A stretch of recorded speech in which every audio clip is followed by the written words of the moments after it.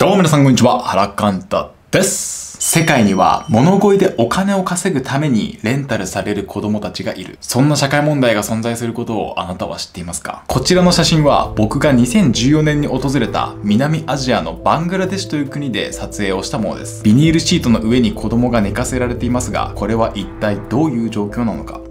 物乞いのためにレンタルされる子供の問題は約2年前にも動画をアップしていますが、今回は全体の構成を変え、編集もレベルアップさせています。今回が2021年最後の動画です。なぜ2021年の締めくくりに僕がもう一度ストリートチューレンの問題を選んだのか、2022年に向けて動画の後半では僕から視聴者の皆様にある一つのメッセージを伝えます。ぜひ最後までご覧ください。先ほど紹介した男の子は小児性麻患いわゆるポリを患っています。ガリガリに痩せてしまっているか細い腕や足さらには浮き出ている肋骨の様子からもおそらく彼は栄養失調の状態にあるでしょう。それにもかかわらず彼の左側にはボールが置かれその中にはお金が放り込まれています。つまり彼は病気であることを見せ物にされお金を物乞いするための商品として使われているのです。この写真を撮影したのは南アジアのバングラデシュインドの隣にある国です。国土の面積はは日本の約4割に過ぎませんが人口は約1億6000万人もいます。かつてはアジア最貧国と呼ばれていたバングラデシュも特に近年は経済成長が著しく首都のダッカは世界で最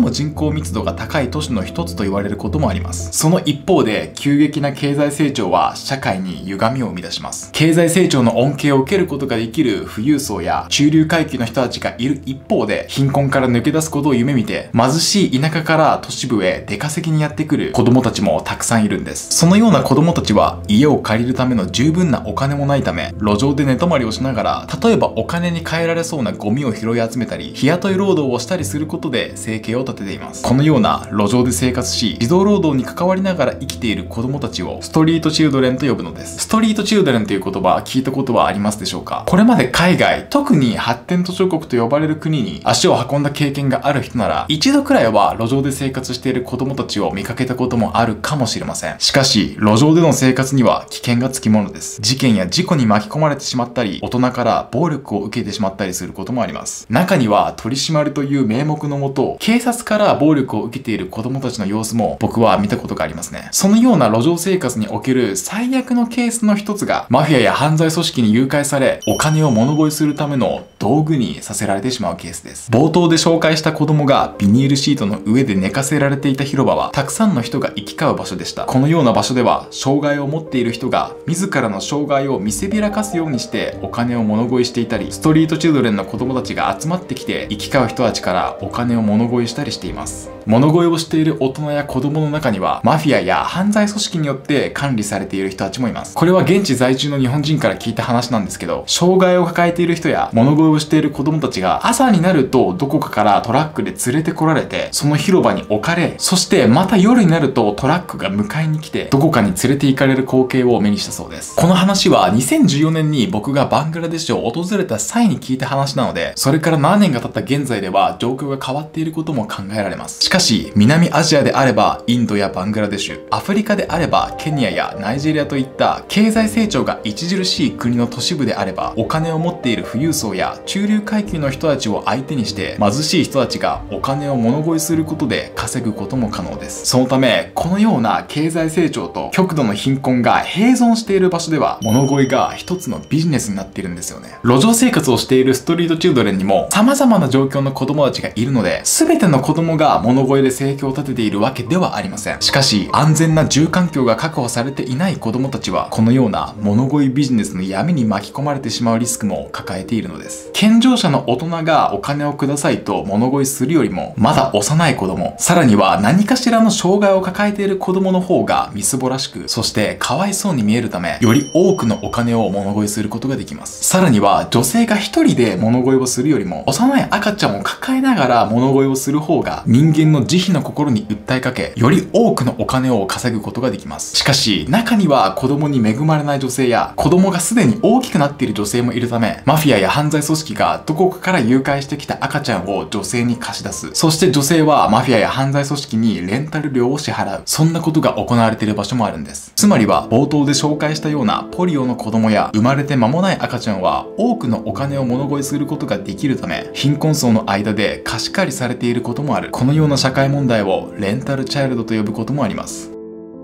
少しだけネタバレになってしまうんですけど、スラムドッグミリオネアという有名な映画があります。皆さん見たことありますか？この映画の中では、誘拐されたストリートチュードレンの子供がマフィアによって目に硫酸を流し込まれ、意図的に盲目にさせられるシーンがあるんですよね。そして盲目にさせられた子供が物乞いのために使われる。意図的に障害者に仕立て上げられることで、より多くのお金を物乞いさせようとする。そんなことも行われています。物乞いビジネスの実態は実際にはもっと複雑で闇が深いです。貧困層の子供たちもそれでしか生きていく術がないため、マフィアや犯罪組織と言ってしまえば、共依存の関係にあることもあるんですよね。以前の動画でも紹介しましたが、石井幸太さんというルポライターの方が、レンタルチャイルドという本を書かれています。衝撃的な内容なので、もしかしたら最後まで読み切れないっていう人もいるかもしれませんが、世界の貧困問題の闇の闇について知りたいという方は、ぜひこちらもチェックしてみてください。ここまではストリートチュードレンが直面する問題について解説してきましたが、ここから先は僕自身の活動、そして2022年に向けて一つのメッセージをお伝え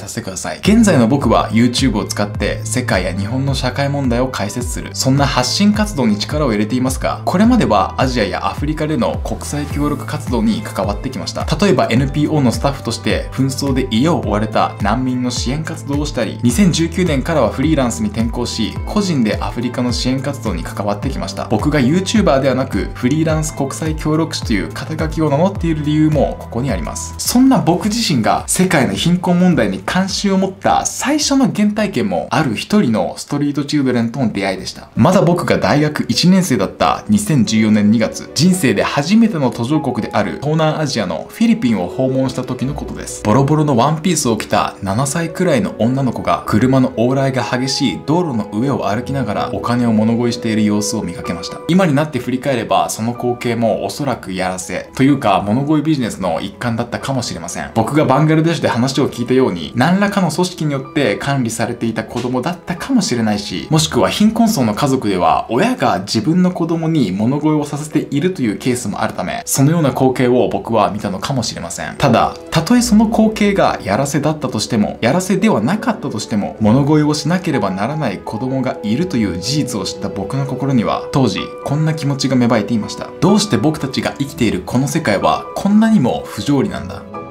自分の目で貧困の現場を見た僕はそういった世界の不条理を仕方がないものとして受け入れてしまうのではなくどんなに微力であったとしても立ち向かっていきたい。自分には何ができるのかを考え続けていきたい。そんな気持ちが芽生えてきたことで僕は国際協力に関わり始めました。コロナ禍になってからは海外特にアフリカのような遠くの地域に行くことが難しくなってしまったため日本にいながらできることをやろうと思い世界の社会問題を解説する動画を YouTube に投稿し始めました。これまで150本近く動動画を投稿してきましたが、最初に大きな反響があったのが、レンタルチャイルドの動画だったんです。特に2021年3月以降にたくさんの人たちに見られ始め、もしかしたら、この動画をきっかけに原関東を知ってくださった方も多いのではないでしょうか。僕のチャンネルが広く知れ渡るきっかけになったからこそ、2021年の終わりにもう一度このテーマを取り上げていました。ただ、このタイミングでストリートチュードレンの問題を取り上げたのには、もう一つ大きな理由があります。それは、改めて自分の原点を振り返る必要性を感じたからです。2021年は YouTube 活動に力を入れるため、毎日のように社会問題について考えていましたが、その一方で社会問題のことばかりを考えていると、自分の感覚が麻痺しそうになってくることがあります。貧困問題にせよ、紛争にせよ、環境問題にせよ、そういった社会問題が存在していることを、もはや当たり前のこととして考え始めてしまっている自分がいるのではないか。そんなジレンマに直面する時があります。これは海外に長く滞在し、現地で活動していた時にも同じようなことを感じていました。かつては路上で物乞いをする子供に大きな衝撃を受けて国際協力に関わり始めたというのに、海外で長く活動していればいるほど貧しい国にはストリートチュードレンがいるのが当たり前なんだと、そのような光景を見慣れ始めてしまっている自分がいることに気づいたんです。何もこれは海外に限った話ではありません。僕たちが暮らす日本でも、例えば東京や大阪といった都心部であれば、路上生活をしているホームレスの方たちを目にすすることがあります。通勤や通学の途中など仮にそういったホームレスの方たちを毎日のように目にしていたとすればいつの間にかその光景にも見慣れてしまいホームレスがいるのは当たり前と思い始めてしまうんではないでしょうか。でも僕は時々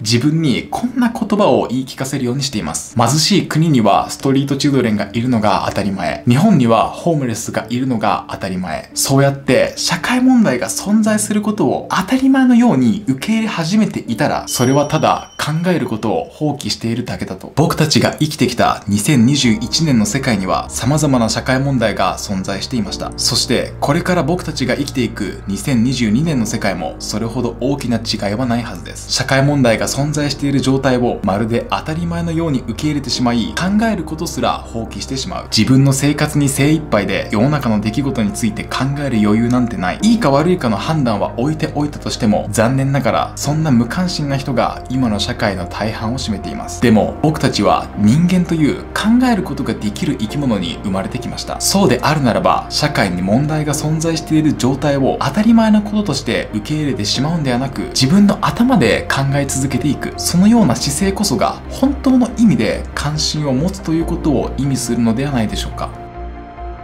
2021年の1年間は YouTube 活動に力を入れてきましたが、どうしても機械的に仕事をこなしてしまっていたこともあるように感じ、僕自身も反省した部分があります。そのような反省も踏まえ、このチャンネルの原点とも言えるストリートチルドレンの問題を切り口にして関心を持つとはどういうことなのか考える動画を作っていました。関心を持つ、いや、関心を持ち続けるというのは、このチャンネルの大きなテーマでもあります。1年の締めくくりだからこそ、改めて原点に戻ってみました。ぜひ皆さんの感想もコメント欄で聞かせてください。最後に一つだけお知らせがあります。2021年12月16日に、角川からあなたと SDGs をつなぐ世界を正しく見る習慣が発売されました。この本のテーマも一言で表せば、世界で起きている問題と自分たちの生活のつながりを理解することで、内から湧いてくる自発的な意志で関心を持つことにあります。年末年始の休みに本を読もうと思っている方、2022年こそは読書に力を入れたいという方、ぜひあなたの読書リストにこの本も入れてもらえたら嬉しいです。概要欄にもリンクを貼っておきますので、ぜひチェックしてみてください。くださいおそらく今回の動画が2021年最後の動画になると思います。あの、本当はですね、チャンネル登録者10万人のあの、銀の盾が届いたら、開封動画というか、まあ、それをね、見せながら皆さんにお礼動画作りたかったんですけど、全然届かないんですよね。今一応 Google にもあの、問い合わせしてます。皆さんは2021年どんな1年間でしたか？僕自身はまさかね、ほんとここまでたくさんの人に関心を持ってもらえるとは思っていなかったので、大きく飛躍できた1年間になったかなと思っています。これも日頃から応援してくださる皆様のおかげです。本当に1年間ありがとうございました。社会問題を学ぶなら、原監督の YouTube、そうやって言っていただけるように、2022年も頑張っていきますので、今回の動画が少しでも参考になりましたら、ぜひ1年最後の高評価ボタン、応援のほどよろしくお願いいたします。チャンネル登録がまだの方は、チャンネル登録の方もポチッとよろしくお願いいたします。2022年、勇気と希望に溢れた1年にしていきましょう。どうぞ良いお年をお迎えください。ということで、また次回の動画でお会いしましょう。